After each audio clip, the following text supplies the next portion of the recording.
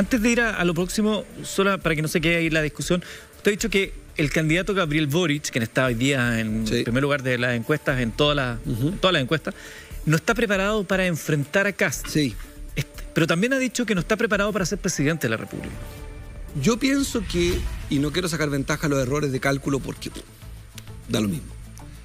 Mi problema no es que no sepa usar una calculadora, es que usa la calculadora y no me gusta cómo la está usando. Creo que el próximo gobierno va a ser un gobierno que va a enfrentar una economía en situación muy brava. Déficit fiscal, no quiero aburrir con tecnicismo, muy complicado. Mucha demanda y poca plata en el Estado. Menos de la que necesitamos. Yo creo que hay mucha plata igual, ¿ah? que estamos gordos de plata en Chile. Inmensamente gordos de plata. Pero, pero va a ser un debate.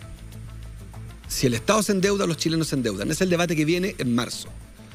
Entonces el debate económico es central, porque va a haber la discusión si tú mantienes o no el IFE, vas al quinto retiro. El debate va a ser en marzo, de ahí en adelante, idéntico, mientras espera que los constituyentes nos mandaten. Y ya el diputado con 35 años, con un equipo económico de 35 años también, ya se comportan, no sé si estoy en el lenguaje correcto, como viejos chicos. Ya, eh, al igual que Piñera, Cast y Proboste, valoran al presidente del Banco Central en dos cosas. En sus dichos sobre el cuarto retiro, que está en contra, porque le echa a perder la inflación, y también valora el nombramiento a Mario Marcel, sin ningún cuestionamiento, a un cierto sesgo de Mario Marcel. ¿Qué dijo el presidente del Banco Central? El cuarto retiro es un problema para la inflación. Yo quiero mostrarte una lámina que ya he mostrado, pero creo que es clave insistir, porque es parte del debate democrático injusto que tenemos, donde la gente está un poco secuestrada. Estos son los retiros, también hubo retiros, ahora, de la gran empresa chilena. Retiraron 12 mil millones de dólares. Como les pagan en pesos, son utilidades en pesos, pasan a dólares. El precio del dólar, si usted compra muchos dólares, ¿qué pasa? Sube. Si sube el precio del dólar, cuesta más comprar cosas. Afecta también de algún modo la inflación, o más bien podría afectar. Nada dijo Boric, nada dice Piñera, nada dice Proboste, y nada dice Mario Marcel. Pero, sí les parece que Paola de San Miguel, que tiene 4 millones de pesos en la FP con 55 años de edad, cuya pensión sería de 11 mil pesos, si le parece que Paola, por sus 4 millones, no puede retirar. Puedo plantear un argumento como abogado del diablo en este caso. Mantenga ahí, por favor, esa lámina.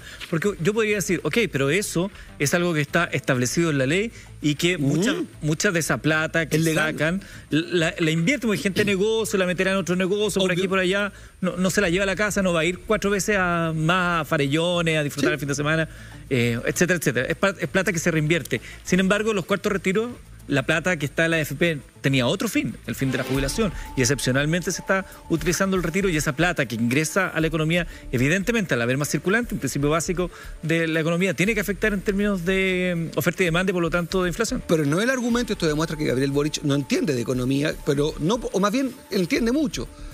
Está decidido a seducir al centro y a los que ya gobernaron porque cree que ahí está su voto quiere aparecer responsable cuando lo que hay que hacer aquí es valiente, no responsable. Hay que ser primero valiente. La responsabilidad viene con el coraje.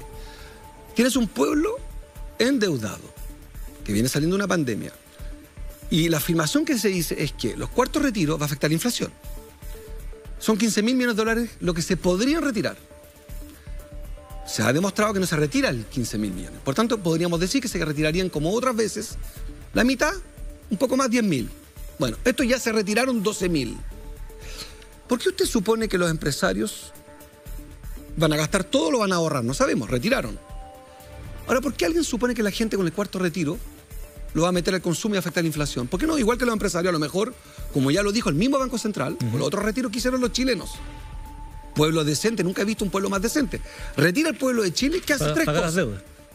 Va a pagar deuda y hoy los bancos, hoy, compatriotas, van a ganar hoy 6 mil millones de pesos. O sea, esta noche, en 10 minutos más 6 mil y mañana 6 mil millones. Entonces, ¿con qué plata? Con la de los retiros, porque la gente es tan decente que hizo tres cosas con los retiros. Ahorró debajo del colchón, pagó deuda a los bancos con utilidades del 300% este año en crisis y se fue al consumo. Entonces yo me pregunto, ¿por qué Piñera, Marcel, Proboste y Boric, Cast, criminalizan los retiros. Pero están a favor de los retiros.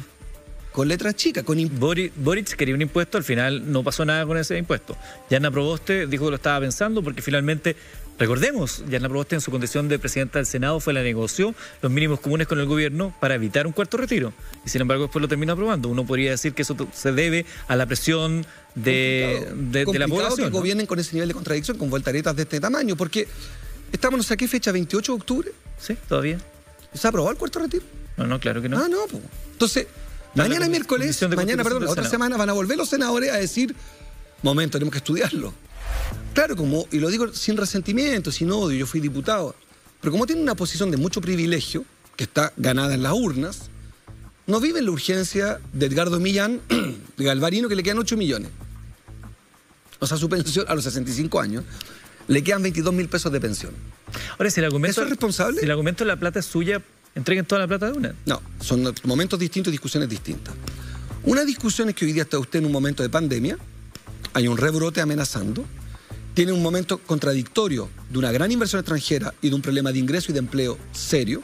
Estás en una espiral infernal en Chile que es inflación, retiro, IFE, sin crear empleo. La única manera de salir de esa espiral que tienen los chilenos pagando hoy día a 2.200, 2.400 pesos el kilo tomate, el kilo plátano. ¿Qué cuesta tiene el tomate? Disparado. Y los chilenos dicen, no entiendo qué hay que hacer. Pero me están proponiendo, y estoy casi por sacarme el cinturón, me están diciendo que yo me apriete el cinturón y los candidatos de oposición me dijeron que era una locura retirar, ahora me dicen que están a favor, pero no lo aprueban.